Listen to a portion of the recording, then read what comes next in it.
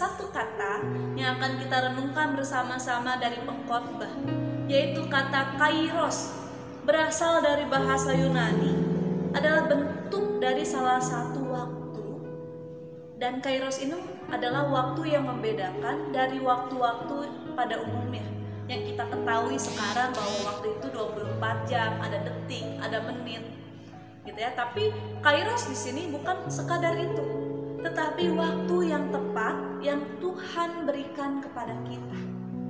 Manusia tidak dapat menahan waktu.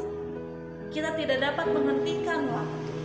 Kita tidak dapat dan kita tidak tahu kairos yang tepat bagi diri kita, tapi kita dapat merasakan kairos itu berdampak dalam kehidupan kita. Penulis pengkhotbah, khususnya pengkhotbah 3 menjelaskan segala sesuatu itu memiliki masa. Segala sesuatu yang ada di bawah langit ini ada waktunya.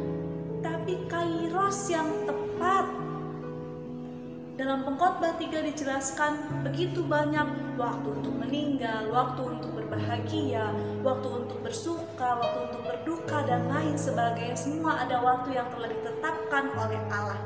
Kita tidak dapat menghindar, kita tidak dapat menahan, bahkan kita tidak dapat berlari menghindari waktu yang tepat itu.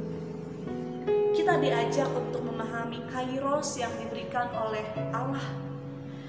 Kita diajak untuk melihat lebih dalam sebab kekurangan manusia.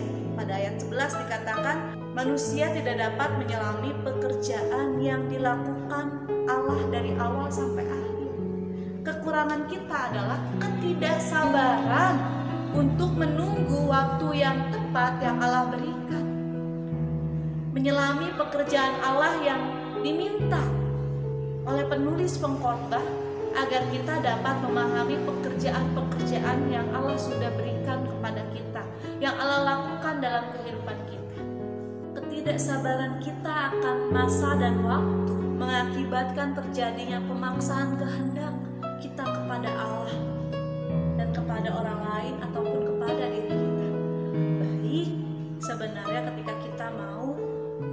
lebih maju dibandingkan orang lain, tetapi kita setiap kita memiliki kairosnya masing-masing.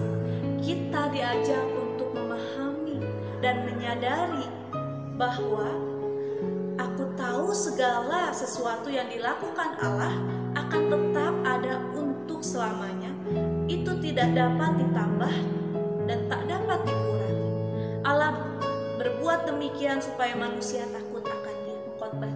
ayat 14. Kita harus menyadari Allah akan memberikan segala sesuatu tetap dan untuk selama-lamanya. Jangan takut kairos itu tidak datang kepada kita. Tuhan akan memberikan kairos yang cukup dan pas sesuai dengan apa yang kita perlukan, yang kita butuhkan. Sehingga kita tidak mengalami yang namanya kesia-siaan atau mengucapkan kesia-siaan akan kairos yang Tuhan berikan kepada kita. Kiranya firman Tuhan hari ini menolong kita untuk memahami kairos itu dengan hati yang terbuka. Mari kita berdoa. Puji syukur Tuhan kepadamu yang memberikan kami kairos. Kiranya kami dapat memahami dan mengerti waktu yang Tuhan berikan kepada kami. Ajarilah kami untuk selalu bersabar dan selalu melihat segala sesuatunya indah pada waktu yang Tuhan berikan. Terima kasih Tuhan. Amin.